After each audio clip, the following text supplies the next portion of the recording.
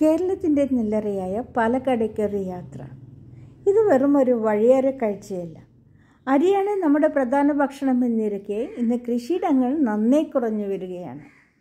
നമ്മുടെ പുതിയ തലമുറയ്ക്ക് നെല്ലിന്റെ പാടമെന്ത് എന്നുള്ള അറിവ് അന്യം നിന്ന് പോവാതിരിക്കാൻ ഏത് പ്രതികൂല കാലാവസ്ഥയിലും പാരമ്പര്യമായി കിട്ടിയതിനെ നെഞ്ചോട് ചേർത്ത് നിൽക്കുന്ന കർഷകർക്ക് ഞാൻ ഈ വീഡിയോ സമർപ്പിക്കുന്നു.